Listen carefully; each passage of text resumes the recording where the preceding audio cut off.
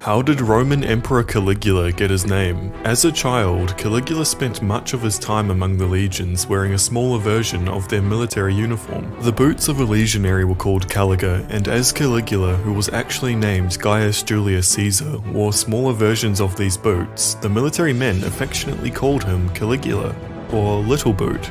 It's important to note that Caligula found this name disrespectful after he became emperor, and his reputation for unrestrained brutality and sadism ensured that no one called him by it. It wasn't until about 300 years after his death that Roman historians began referring to him by this name, probably out of disdain as by this time he had become the model of a terrible leader. And that answers our question of